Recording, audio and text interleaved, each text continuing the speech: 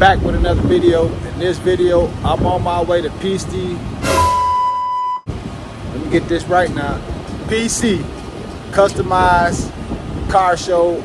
It's in Union Grove. We're finna get some of this content, see the bike, see the car, see all the work he done did. Shout out to everybody that's coming out, cause it's a lot of YouTubers, man. So let's just get this content. If you ain't a subscriber, hit that button. I need y'all to subscribe. Let's get to it. To get some gas. I don't ever go by the meter thing. You know how to read meter read full on your gas? I don't go by that. I gotta see my gas full. Not all the way to the brim, but you know. And almost three gallons of gas. You see it? Come on now. Five dollars and nineteen cent a gallon out here in Illinois. Oh my God! Yeah, man. I didn't even clean it off yet, but but look at that. I said, look, look at that. Look, look at that dirt now. I ain't even clean it, but man, we cleaning up to make it. But let me uh get up here, y'all, to this track, get this footage.